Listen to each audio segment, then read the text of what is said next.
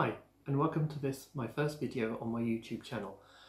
I'm a costume maker by trade. I trained at the London College of Fashion and have been working in the business for 27 years. I do many things besides costume. I do wedding dresses, I work with costume collectors uh, who collect Hollywood costumes and help them restore the things that they own, or I make things for them that are missing from their collections. This is something I really enjoy as films have always been a passion of mine ever since I was small. So you'll be seeing some of those things here on this channel. Uh, the first thing I'm going to do on the channel is make this dress, which everyone will recognise. It's the Dorothy dress from The Wizard of Oz. This catalogue is from Julien's Auctions from when they sold one in 2012 and the catalogue has some really great pictures of it in there. The costume was designed by the Hollywood designer Gilbert Adrian, who worked under just the name Adrian, and he ran the costume department at MGM and designed several hundred films during his time there. Wizard of Oz probably being one of the most famous ones. The Dorothy dress features several iconic Adrian isms, I suppose you could call them. The use of gingham, which he used in other films like Philadelphia Story and Pride and Prejudice, and the use of gingham Sorry. It's right.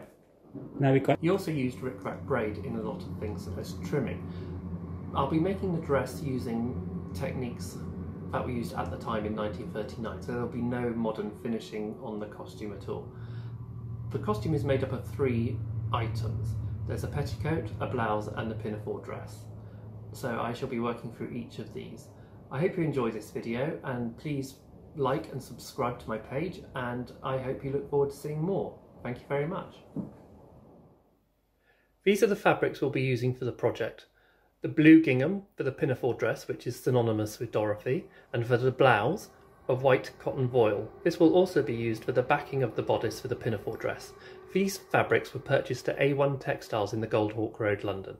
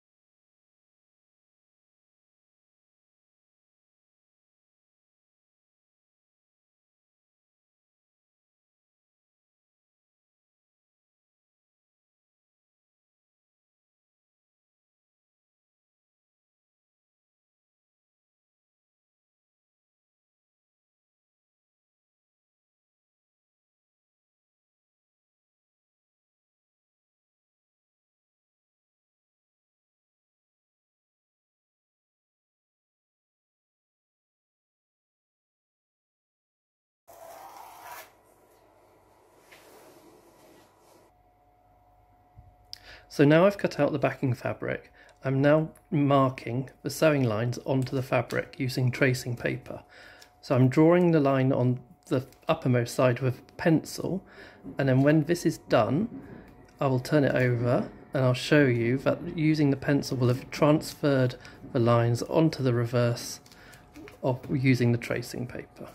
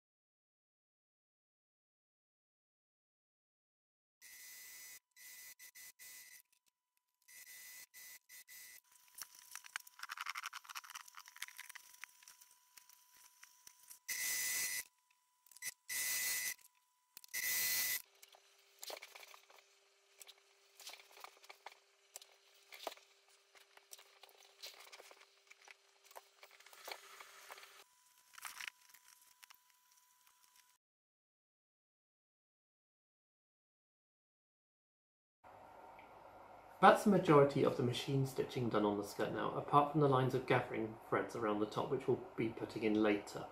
Now we're going to do some hand sewing. What a lot of people don't realise about the original dress is that besides the skirt hem facing which we've already attached, there was then a hem turned up on the inside as well. This was to help give the skirt some weight and to give it the A-line shape that was needed. So that's the next step we'll be working on.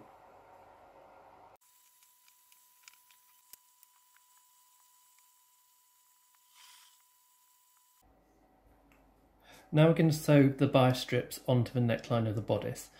These are sewn onto each individual piece of the bodice rather than in one continuous stripe. Once it's sewn onto the neckline, we'll trim the seam allowance away, flip it over to the right side and then top stitch it in position.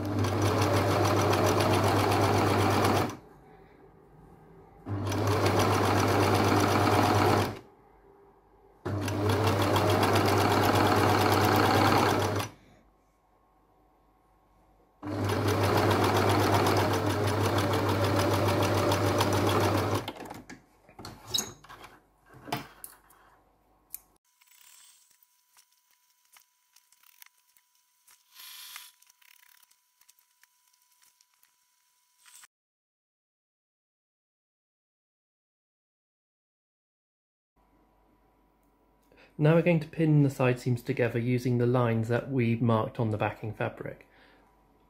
So just when you put the pin in, just check that the lines line up on the on the back. And do this on both sides. And then we'll machine it together.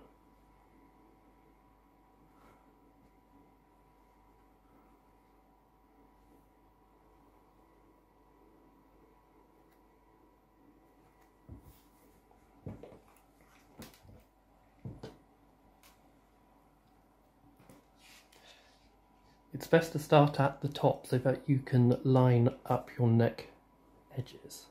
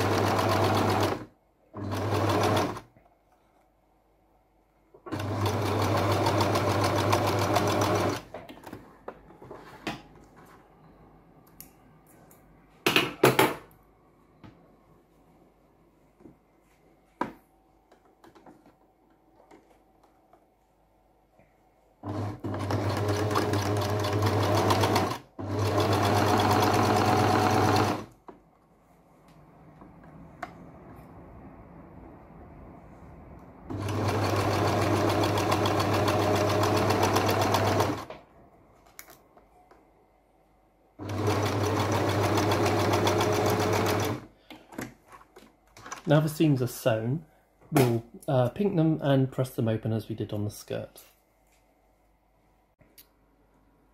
You may notice that on the centre back panel on the side seam that it's higher than the neckline. The best way to deal with this is just to turn it in slightly at the top, like so, and just do a few hand stitches to keep it in.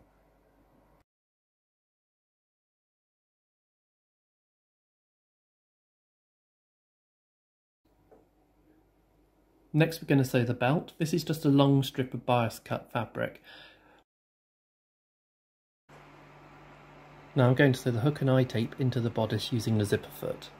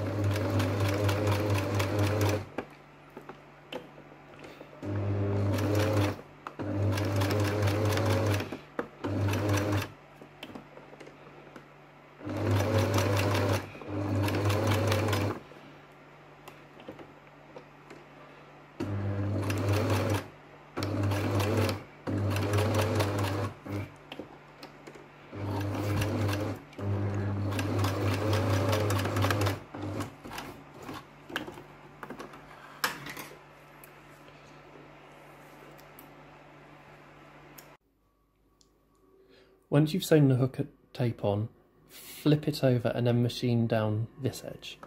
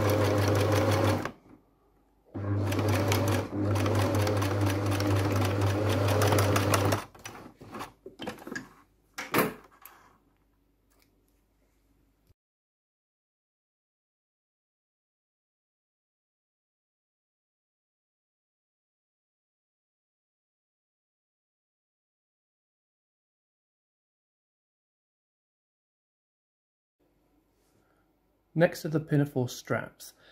Sew around the edge, remembering to leave a gap so that you can turn them through. Press them and then top stitch around the edge.